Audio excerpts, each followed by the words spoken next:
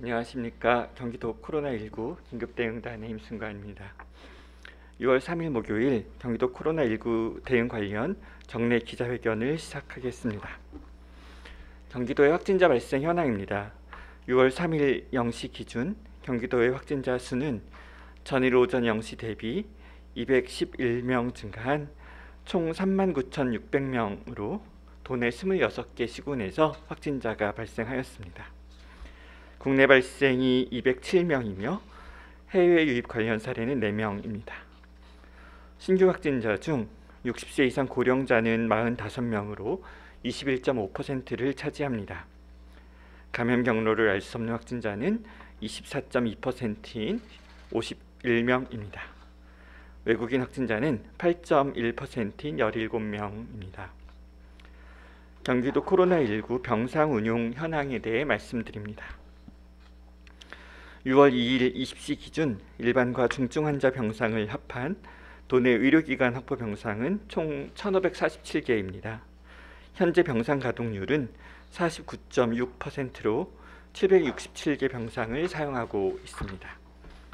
중증 환자 치료 병상은 총 204병상을 확보하였으며 이 중 64개를 사용하고 있습니다.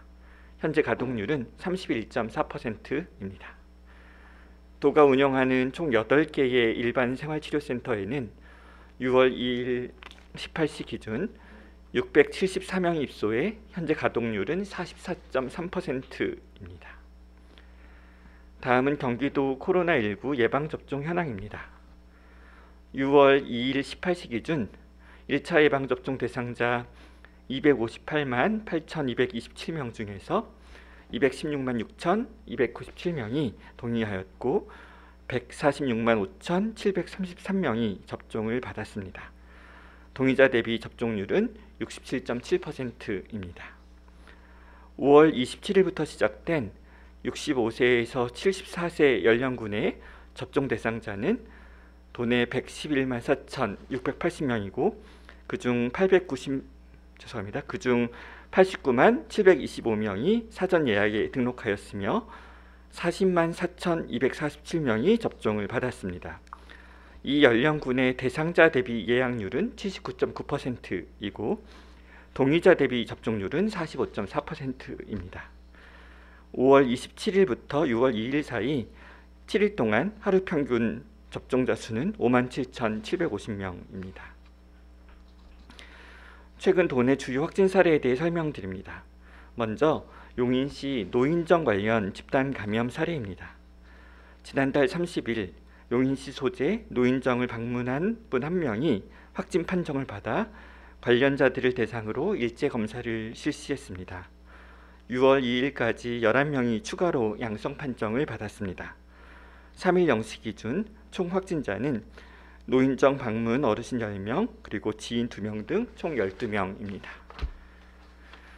접촉자 분류를 통해 41명은 자가격리, 9명은 능동감시, 36명은 수동감시 조치했습니다.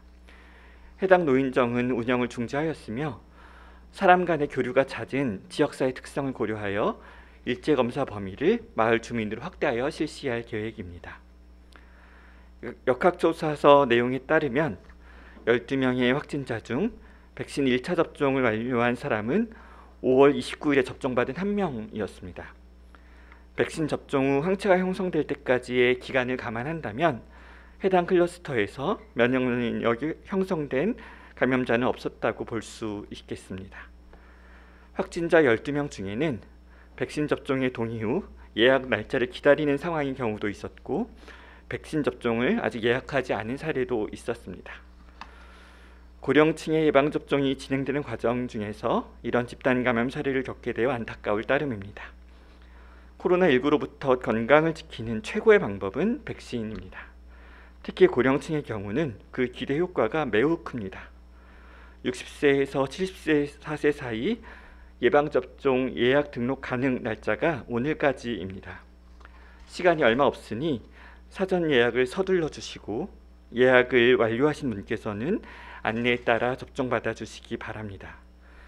혹시 예약 기회를 놓치신 분들은 자녀 백신 접종 등 정부의 보완적인 대책에도 많은 관심을 가져주시기를 당부드립니다. 다음은 하남시 요양병원 관련 사례입니다. 지난 1일 하남시 요양병원에서 종사자 한 명이 최초 확진 판정을 받아 관련자들을 대상으로 일제 검사를 실시했습니다. 정말 다행스럽게도 지표 환자 발생 이후 현재까지 추가 확진자는 보고되지 않았습니다. 확진자가 발생한 병원 3층 구역을 코호트 격리했으며 하남시 보건소에서 1일 1회 소독과 방역을 지원하고 있습니다. 해당 요양병원은 종사자 113명, 입소자 147명 등 총 260명 정도 규모였습니다. 종사자는 113명 중 103명이 백신 접종을 받아 91.2%의 접종률을 보이고 있으며 확진자는 그 기관 미접종자 10명 중 1명이었습니다. 종사자 그룹 내 높은 접종률을 통해 국지적인 집단 면역 효과가 발생했었기를 기대하며 추가 감염자 발생 여부를 관찰하고 있습니다. 사실 이 시설에서 염려되는 사안은 입원 환자분들입니다. 조사일 기준 147명의 입원 환자 중 48명이 예방 접종을 받았고 접종률은 32.7%로 보고되었습니다. 다행히 아직까지 환자들 중 확진자가 발생하진 않았지만 지표 환자의 직무상 고위험 환자들과의 접촉 가능성이 있어 주의하면서 모니터링 중입니다. 경기도의 코로나19 대응 전략은 고위험군의 건강과 생명을 보호하는 데 주안점을 두고 있습니다. 경기도는 경기도 내 4월과 5월 지난 2개월간의 발생 통계를 설명드립니다. 4월과 5월에 보고된 확진자는 각각 5,662명 그리고 4,810명입니다. 연령을 10세 구간으로 나누어 볼 때 70대 확진자는 505명 그리고 80세 이상 확진자는 280명이었습니다. 70대 연령군은 같은 기간 전체 확진자의 4.8%, 80세 이상 연령군은 같은 기간 전체 확진자 대비 2.7%입니다. 2021년 1분기 자료와 비교할 때 그 개선이 뚜렷합니다. 1분기 자료에선 70대 연령군이 전체의 5.6%, 80세 이상 연령군이 전체의 3.9%였습니다. 정확한 비교를 위해 인구 10만 명당 확진자 수로 환산하면 4월과 5월 두 달간 가장 발생률이 높았던 연령대는 60대입니다. 경기도 인구 10만 명당 93.3명이었습니다. 두 번째 순위는 50대로 인구 10만 명당 90.3명, 세 번째는 20대로 82.6명이었습니다. 전 연령의 평균 값은 인구 10만 명당 78.0명이었습니다. 놀라운 결과는 고령층의 자료입니다.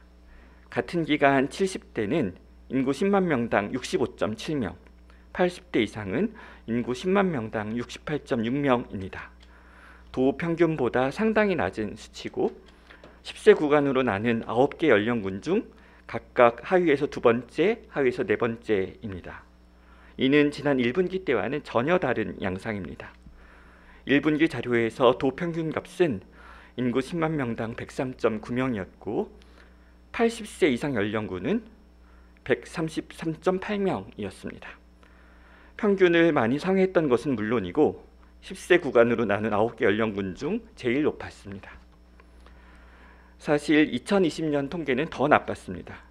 2020년 1년간 경기도의 총 확진자 14,735명을 인구 비례로 계산하면 평균 값은 인구 10만 명당 111.2명 감염이었던 데 비해 80세 이상 연령군은 223.8명이었습니다. 연령 구간별로 비교했을 때 단연 높은 최고 순이었고 도 평균값 대비해서도 두 배 이상 높았습니다. 작년 대비 올해 우리 사회의 코로나19 대응이 어떻게 개선, 개선되었는지 쉽게 알 수 있는 자료입니다. 이런 좋은 통계값의 변화를 얻게 된 제일 중요한 맥락은 요양병원, 요양시설 등 감염 취약시설에서의 집단 감염이 통제되고 있기 때문입니다. 요양병원, 요양시설 관련 확진자 발생을 월별 통계로 설명드립니다. 제3차 유행의 정점이었던 지난해 12월 도내 확진자 중 감염 취약시설 관련 확진자 비율은 9.1%였고 월별 비교 시 가장 높은 수치였습니다. 이후 이 비율은 지속적으로 감소하여 4월엔 1.4% 그리고 5월엔 1.2%입니다. 작년 12월에 전체 도내 확진자 10명 중 1명 가까이 감염 취약 시설에서 발생했지만 지난달에는 거의 100명이 1명인 셈입니다. 정말 놀라운 성과입니다. 사망 통계도 개선되고 있습니다. 6월 3일 0시 기준 경기도의 누적 확진자 39,600명 중 안타깝게도 639명이 생명을 잃어 치명률은 1.61%입니다. 그리고 그 달에 확진된 사람들 중 사망한 사람의 비율 통계를 월별로 비교하면 다음과 같습니다. 3차 유행의 파고가 높고 거셌던 지난해 12월 코로나19 감염자의 사망률은 3.59%로 전체 평균 대비 2배 이상 높았습니다. 다시 기억해도 참 안타까운 과거입니다. 그런데 이 수치는 올해 2월에 1.42%까지 안정화되었고 백신 접종이 시작된 이후인 3월과 4월엔 각각 0.66%, 0.93%입니다.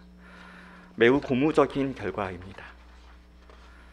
요양병원, 요양시설 종사자들을 대상으로 감염관리 교육과 훈련 사업을 실행한 것, 시군 보건소와 대상 시설의 노력으로 주기적 선제 검사를 진행해 온 것 등이 그 기반이 되었고 2월 하순 이후 감염 취약 시설의 입소자와 종사자들을 최우선 순위에 두고 코로나19 예방 접종 프로그램을 진행했던 것이 이런 좋은 결과를 얻게 된 맥락입니다.